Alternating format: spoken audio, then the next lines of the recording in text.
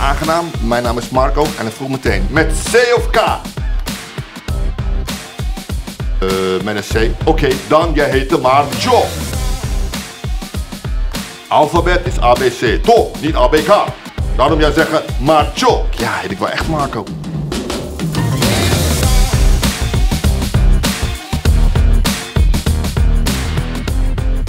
Het is heel belangrijk. Kijk eens even heel goed. Zie je het?